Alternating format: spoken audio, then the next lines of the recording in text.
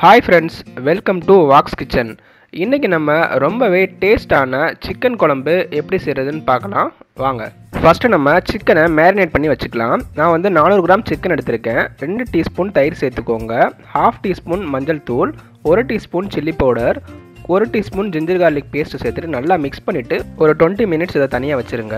ஒரு டவாவில் ரெண்டு teaspoon oil சேர்த்துக்கோங்க. கொஞ்சமாக முந்திரி பருப்பு சேர்த்துக்கோங்க. கொஞ்சமாக பாதாம் சேர்த்துக்கோங்க. அஞ்சு மிளகாய் வத்தல் சேர்த்துக்கோங்க. நீங்கள் பாதாம் சேர்க்கலனாலும் பரவாயில்ல. முந்திரி பருப்பும் மிளகாய் வத்தலும் சேர்த்துட்டு ஒரு டூ மினிட்ஸ் ஃப்ரை பண்ணுங்கள் ஃப்ரை பண்ணிவிட்டு இதோட ரெண்டு தக்காளி சேர்த்துட்டு மிக்சியில் அடித்து தனியாக வச்சுருங்க.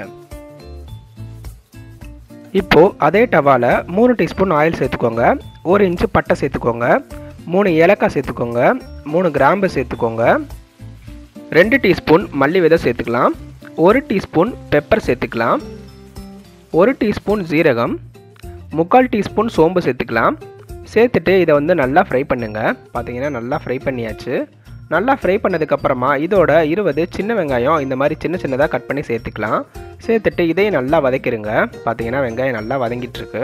வெங்காயம் கொஞ்சம் நல்லா வதங்கினதுக்கப்புறமா ஒரு டீஸ்பூன் இஞ்சி பூண்டு விழுது சேர்த்துட்டு இதையும் நல்லா வதக்குங்க. கடைசியாக ஒரு கப்பு திருவண தேங்காய் சேர்த்துக்கலாம். சேர்த்துட்டு இதையும் நல்லா வதக்குங்க.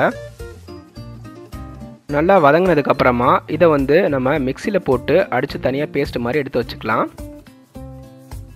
இப்போது ஒரு கடாயில் மூணு டீஸ்பூன் ஆயில் சேர்த்துக்கோங்க. கொஞ்சமாக கடுகு கொஞ்சமாக கருவேப்பிலை சேர்த்துக்கோங்க. சேர்த்துட்டு இதை வந்து லைட்டாக ஃப்ரை பண்ணுங்கள் இதோட பத்து சின்ன வெங்காயம் இந்த மாதிரி சின்ன சின்னதாக கட் பண்ணி சேர்த்துக்கோங்க. இந்த சின்ன வெங்காயத்தை நல்லா வதக்கிக்கோங்க. நல்லா வதங்கினதுக்கப்புறமா ஒரு சின்ன சைஸு தக்காளி சேர்த்துக்கலாம். சேர்த்துட்டு இதையும் நல்லா வதக்குங்க. நல்லா வதங்கினதுக்கப்புறமா கால் டீஸ்பூன் மஞ்சள் தூள் சேர்த்துக்கலாம். சேர்த்துட்டு நல்லா வதக்குங்க. இப்போ பார்த்தீங்கன்னா நல்லா வதங்கிட்டுருக்கு. நல்லா வதங்கினதுக்கப்புறமா நம்ம ரெண்டாவது ரெடி பண்ண அந்த கோகனட் மசாலா பேஸ்ட்டை இதில் சேர்த்துக்கலாம். சேர்த்துட்டு இதை வந்து நல்லா மிக்ஸ் பண்ணி விடுங்க. பார்த்தீங்கன்னா நல்லா மிக்ஸ் பண்ணியாச்சு. நல்லா மிக்ஸ் பண்ணதுக்கப்புறமா நம்ம இதோட சிக்கனை சேர்த்துக்கலாம். நம்ம மேரினேட் பண்ணி வச்சுருந்த சிக்கனை இதில் ஆட் பண்ணிக்கலாம். ஆட் பண்ணிவிட்டு இதையும் நல்லா மிக்ஸ் பண்ணி விட்டுருங்க. நல்லா மிக்ஸ் பண்ணதுக்கப்புறமா இதோட ஒரு கிளாஸ் வந்து தண்ணி சேர்த்துக்கோங்க. சேர்த்துட்டு நல்லா மிக்ஸ் பண்ணி விட்டுருங்க. இப்போ நம்ம ஃபஸ்ட்டு ரெடி பண்ண அந்த கேஷு பாதாம் பேஸ்ட்டை இதில் ஆட் பண்ணிக்கலாம். பார்த்தீங்கன்னா அந்த கேஷு பாதாம் பேஸ்ட்டை ஆட் பண்ணியாச்சு. இதையும் நல்லா மிக்ஸ் பண்ணி விட்டுருங்க. நல்லா நம்ம மிக்ஸ் பண்ணதுக்கப்புறமா இதோட ஒரு ஹாஃப் கிளாஸ் வந்து வாட்டர் சேர்த்துக்கலாம். சேர்த்துட்டு இதை வந்து நல்லா மிக்ஸ் பண்ணி விடுங்க.